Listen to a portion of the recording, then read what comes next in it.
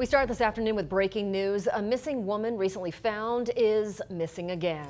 Nampa police identify her as 26-year-old Megan Hitt. Officers say she's been confused recently due to medical issues. If you see Megan, call Nampa police. Right now, Ontario police are looking for several people who may know something about a man who was shot to death. KBOI2 Sarah Jacobson is live near the home where the man was found.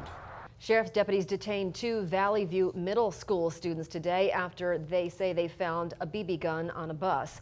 The Canyon County Sheriff's Office says a student told the principal once the bus parked at the school. The principal put the school on lockdown immediately.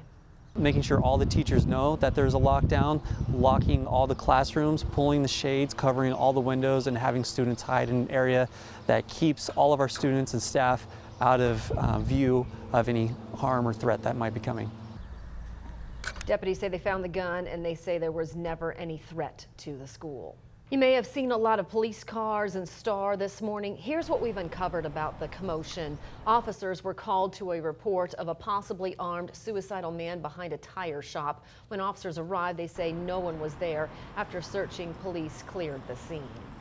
Let's take a live look outside today. It is a bit cooler out there and you'll notice the cloud cover. That indicates that change is coming. Chief Meteorologist Roland Steadham is here to tell us what to expect through the weekend. Hi, Natalie. We now know when President Trump and the North Korean leader Kim Jong-un will meet in a historic summit. The two leaders will gather in Singapore on June 12th. The announcement comes on the heels of three U.S. prisoners returning to America. President Trump greeted them just this morning.